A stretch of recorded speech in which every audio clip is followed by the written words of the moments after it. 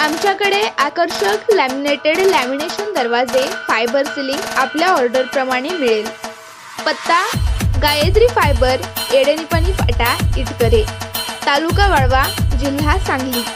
संपर्क संपत कांबळे मोबाईल ब्याण्णव त्र्याहत्तर त्रेचाळीस एक्क्याण्णव त्र्याहत्तर आणि एक्क्याण्णव अडुसष्ट एक्क्याऐंशी साठ एक्क्याण्णव. जिल्हा परिषद सदस्य संजीव कुमार पाटील आयोजित सत्कार नवदुर्गांचा कार्यक्रमामध्ये मी सौ अनिता धस आपले सहर्ष स्वागत करते. आज आपण अशा नवदुर्गेला भेटणार आहोत जिनं वैद्यकीय क्षेत्रामध्ये दहा वर्ष कार्यरत आहेत अशा सौ संगीता जाधव. त्या आज आपल्यासोबत आहेत. आज आपण त्यांच्याकडूनच जाणून घेऊया की त्यांनी कोरोनाच्या संकटसमयी कसे त्यांना अनुभव आले व त्यांनी कशा पद्धतीनं काम केलं. नमस्कार मॅडम. नमस्ते मी संगीता सर्जेराव जाधव गे आरोग्य सेविका म्हणून गेली दहा वर्ष काम करत आहे. मॅडम तुम्ही वैद्यकीय क्षेत्रामध्ये काम करत आहात तर तुम्हाला ह्या क्षेत्राकडं कसं वळावंसं वाटलं?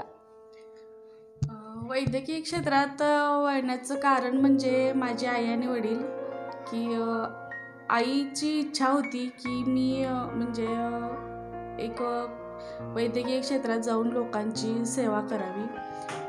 माझी इच्छा खूप होती की मी शिक्षक व्हावं मी पुढं काहीतरी करावं. पण आईवडिलांचं हे होत इच्छा होती की आरोग्यसेवेत गेलीस तर तुला इतर तळागाळातल्या लोकांची सेवा करता येईल आणि त्यांची दुःख जी आहेत त्याचं तुला निवारण करता येईल. हे एक आईचं आणि बाबांचं स्वप्न होतं. म्हणून मी या क्षेत्रात आले. ज्यावेळी या क्षेत्रात येत होते त्यावेळी मलाही वाटत होतं की मी व्यवस्थित करू शकेल की नाही. पण जेव्हा आईची एक मैत्रीण होती तिनं मला सांगितलं की नाही या क्षेत्रात गेलीस तर तुला खूप म्हणजे तुझ्या फॅमिलीसाठी पण स्कोप होऊ शकतो आणि तुझं समाजासाठी पण योगदान खूप मोठं होऊ शकते. तर म्हणून मी ह्या क्षेत्रात आले. जेव्हा आले तेव्हा जे म्हणजे खूप असं होतं की मला जमणार की नाही ही मनात एक न्यूनगंडता होती. पण जेव्हा मी याच्यात पदार्पण केलं त्याच्यात कळलं की बाबा आपली आपली गरज आपल्या शेजाऱ्यांना आहे आपल्या गावाला आहे आपल्या समाजाला आहे. आणि खूप तळागाळात अगदी घरात चुलीपर्यंत जाऊन कोण जात असेल तर एक आरोग्य कर्मचारीच चुलीपर्यंत जाण्याचं धाडस करतो. कारण अशी एक काही प्रश्न असतात की ते फक्त आरोग्य कर्मचाऱ्याला सांगितले जातात. आणि ह्याच्यामुळं मी हे क्षेत्र निवडले. मॅडम तुम्ही काम करत असताना आता बघताय कोरोनाचं महासंकट आपल्या देशावर आलं. मग त्यावेळेला तुम्ही कुटुंब आणि गावात कसं काम केलं? किंवा गावानं तुम्हाला कसं सहकार्य केलं? कोरोनाला कोरोनाला अशी हे होती. फक्त भीती वाटत नव्हती सुरुवातीला पण जेव्हा आपण चोवीस मार्चपासून लॉकडाऊन झाला की मग तेव्हा आम्ही पुणे मुंबईची परगावहून किंवा परराज्य परदेशातून जी लोकं येत होती त्यांना होम क्वारंटाईन करून त्यांचं टेम्परेचर पल्स ऑक्सिजन लेवल वगैरे बघत होते. आणि त्यांना इतर कुटुंबापासून वेगळं ठेवून चौदा दिवसाचा त्यांचा कालावधी कंप्लीट करत होते. तर सुरुवातीला भीती वाटत होती कारण कसं खूप न्यूनगंडता पण होती लोकांची की नाही नाही. भागात गेले की तुम्ही ह्या घरातनं जाऊन आलाय तुम्ही त्या घरात त्यांना भेटलाय तर तुम्ही आमच्या दारावर येऊ नका. म्हणजे अशीही लोकं भेटलीत आम्हाला. काही लोक अशी होतीत की नाही तुम्ही खूप चांगलं काम करताय देवाच्या रूपाने येत आहे अशीही काही. म्हणजे आम्ही दोन्ही बाजू सांभाळत होतो. प्रत्येक गावात किंवा कुठल्याही खेड्यात जावा समाज जावा दोन प्रकारची लोकं असतात. जसं की नाण्याला दोन बाजू असतात. नाण्याला दोन बाजू असतात ते काही म्हणजे त्याशिवाय नाणं चालत नाही. तसं समाजही आहे. चांगलं आणि वाईट हे असतंच. पण चांगलं आणि वाईट करत असताना आपण चांगल्या लोकांना चांगलंच करायचं पण वाईट लोकांना पण चांगल्यात आणायचं काम आपलं असते. त्यासाठी खूप चांगल्या लोकांनाशी वागताना खूप म्हणजे जास्त आम्हाला डोक्याला ताण द्यायला लागत नाही किंवा त्याचा विचार करायला लागत नाही. पण अशी काही लोक असतात की त्यांना आम्ही खोर डोक तोंडात साखर डोक्यावर बर्फ ठेवून त्यांच्याशी जात असते तिथं बोलत असते. खूप काही बोलतील खूप बोलतील. पण आपण नेहमी तो डोक्यावर बर्फ ठेवूनच राहत होते. आणि त्यांचं विचारात बदल करत होते. खूप वेळ आम्हाला म्हणजे एका घरात जवळजवळ दहा वेळेला गेलं की त्यांचे विचार बदलत होते. पण आम्ही असं काही नाही की ते बोलले तर आम्ही विषय सोडून दिला. काय करतात ते करू देत. किंवा त्यांचं काम आहे त्यांनीही त्यांची जबाबदारी आहे. असं म्हणून त्यांना सोडलं नाही की त्यांची जबाबदारी काय आहे आणि त्यांनी त्यां स्वतःची आणि त्यांच्या फॅमिलीची काळजी कशी घेतली पाहिजे हेही आम्ही त्यांना वारंवार जाऊन सांगत होते. एक लेडीज म्हटलं की मॅडम आपण घर संसार आणि सगळंच येते. नोकरी करत असताना दोन्ही पण बघायचं असते. एक ऑफिस आपल्या आपली समाजाला किती गरज आहे आणि आपल्या आपल्या कुटुंबाला पण किती गरज आहे. ह्या दोन बाजू आपण सांभाळत असतो. आणि ही एक लेडीजच करू शकते. कारण दोन बाजू सांभाळताना. म्हणजे गेली पाच महिने माझ्या दोन मुली मी सासरी ठेवलेत. की माझ्यामुळं माझ्या फॅमिलीला पण काय त्रास होऊ नये.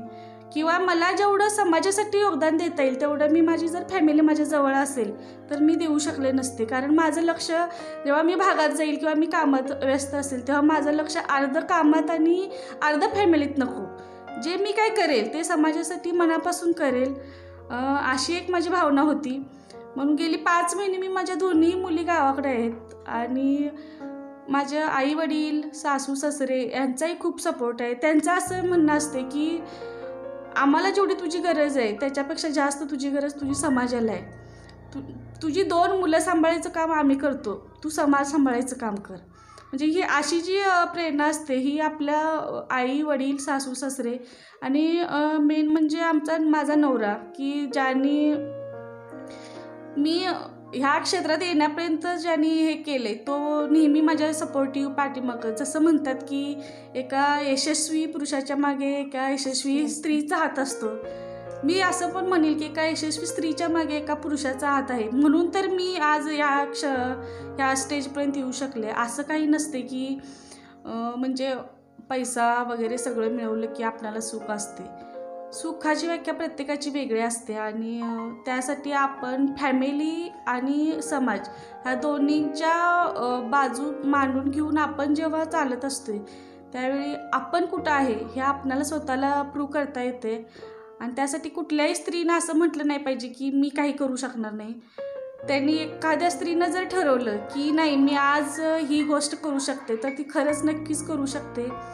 आणि गेली पाच महिने एकही पेशंट इथं सापडला नाही की खूप मला समाजानं पण तेवढंच साथ दिली.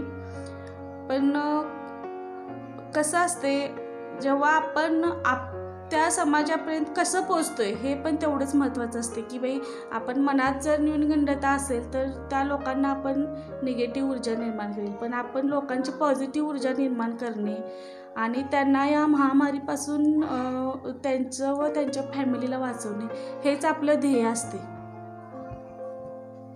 माझं कुटुंब माझी जबाबदारी या कुर उपक्रमामध्ये गावकरी तुम्हाला सहकार्य करतात का? व तुम्ही हा उपक्रम कशा पद्धतीने राबवता?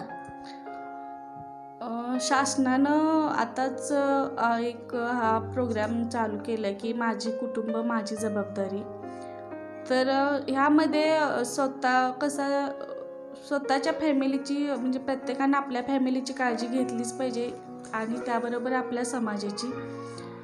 ही हे जे अभियान आपण राबवत आहे याचा एक उद्देश आहे की समाजामध्ये जी पन्नास वर्षाच्या वर किंवा ज्यांचं ऑक्सिजनचं प्रमाण नव्वदच्या खाली येते आणि टेम्परेचर जास्त असते पण त्यांना काही चिन्ह लक्षणं नसतात. अशी जी काही लोकं असतात तर त्यांना एक एक सर्दी ताप खोकला अशी पण लक्षणं नसतात पण ऑक्सिजनचं प्रमाण कमी आलेलं असते. तर अशा लोकांना आम्ही लवकरात लवकर वेगळं करून त्यांच्यावर उपचार करून मृत्यूदर कमी करणे. महामारीच्या या संकट समयी मग तुमची तारेवरची कसरत झाली. मग तुम्ही कुटुंब नोकरी कसे त्या नजरेने कशा नजरेने पाहिलं तिकडे? कुटुंब आणि समाज यामध्ये आपण जेव्हा काम करत असतो ना त्यावेळी आपण जेव्हा घरी असतो तेव्हा नक्कीच कुटुंबाला वेळ दिलाच पाहिजे.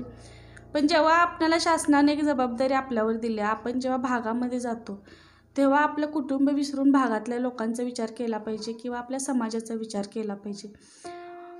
आपण जर म्हटलं नाही नाही आज आमच्या घरात माझा स्वयंपाक राहिला करायचा आज आमच्यात कोण जेवलं नाही आहे वगैरे तर आपण पुढं जाऊन काम करू शकत नाही. आपण जेव्हा घरातून बाहेर पडतो तेव्हा म्हणजे मनातले सगळे डोक्यातले किंवा फॅमिलीचे आपले जे विचार आहेत ते सगळे डोक्यातले घरातच ठेवायचे आणि मग बाहेर पडायचं. बाहेर पडले की फक्त समाज आणि आपणाला दिलेले शासनानं काम. एवढं दोनच आपलं मनात ठेवून काम करत अस केलं. दुर्ग सत्कार तुमचा झालाय. मग तुम्हाला कसं वाटतंय आज? खूप म्हणजे आनंद झाला आहे कारण माझ्या आयुष्यातला हा पहिलाच सत्कार आहे. कारण आजपर्यंत कुठल्याही म्हणजे आरोग्य विभागातल्या ह्यांना की हा असा पुरस्कार कधी कुणाला दिलेला मी तरी बघितला नाही. आणि खूप भारी वाटते आज की आज या गावात आम्हाला सत्कार मिळाला आहे ह्याच्यात मी एकटी सहभागी नाही आहे की माझ्याबरोबर जे सर्व आशा आरोग्यसेवक परत आमचे सगळे सुपरवायझर मेडिकल ऑफिसर यामध्ये सगळ्यांचा सहभाग आहेच. शेवटचा एक प्रश्न विचारते. आज तुम्ही महिलांना काय संदेश द्याल? समाजामधील महिलांना म्हणण्यापेक्षा सर्व समाजालाच संदेश देता येईल की कोरोनासारख्या महामारीतून आपण जर वाचायचं असेल तर आपण म्हणजे आपली काळजी स्वतःपासून घ्यायला पाहिजे की हे कोणतरी बाहेरचं येईल आणि मग मला सांगेल किंवा ह्यांनी मला औषध दिलं नाही म्हणून मी आ गेले नाही किंवा ह्यांनी मला सांगितलं नाही म्हणून मी हे करण्यापेक्षा तुम्हाला जेव्हा जेव्हा कुठलाही त्रास होत असेल तर तुम्ही डायरेक्ट आरोग्य संस्थेशी किंवा आरोग्य कर्मचाऱ्यांशी संपर्क साधा. खूपच छान मॅडम. आज तुम्हाला भेटून आम्हाला खूप चांगली माहिती मिळाली. आणि आज तुम्ही आम्हाला वेळ दिल्याबद्दल तुमचे खूप खूप धन्यवाद.